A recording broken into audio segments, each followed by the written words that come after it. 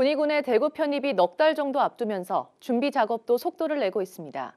군의군에서는 대구 편입과 관련한 잇따른 보고회가 열리고 있고 대구 편입 이후 혹시 모를 행정 공백이나 주민 불편이 생기지 않도록 하나하나 살피고 있습니다.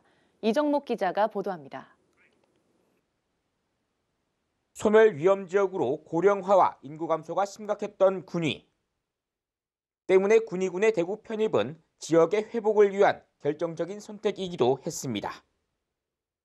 지난해 군위군이 대구시 편입을 확정 지으면서 통합신공항 건설을 비롯한 지역의 당면한 과제들도 급물살을 타고 있는 상황.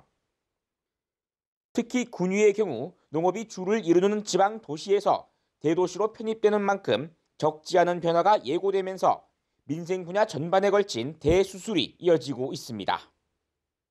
우선 도시지역 편입으로 자칫 소외될 수 있는 농축산업 분야의 경우 농정과와 농업기술센터를 통합하는 등 행정조직을 손봤습니다.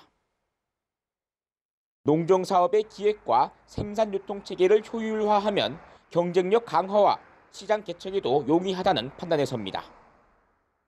경북도와 대구시는 행정 공백을 최소화하는 데 집중하고 있습니다.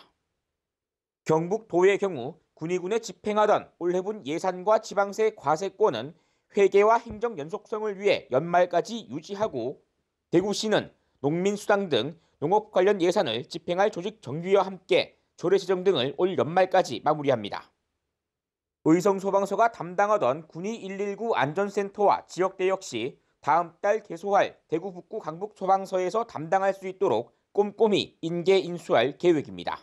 대구시로 업무 이관되는 강력 사무인 상수도, 대중교통 분야 등 그 국민 체감도가 높은 민생 분야에서 국민들의 불편함이 없도록 대구시와 협의하여 대응 방안을 마련 중이며 다만 대중교통 통합의 경우 예산 지원 등의 민감한 사안이 동반되는 만큼 대구시와 군의군은 주민들의 의견을 충분히 수렴한 뒤 체계적으로 진행할 방침입니다.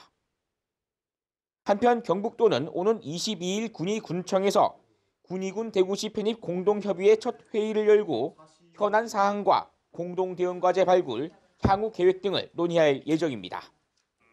HCN 뉴스 이정목입니다.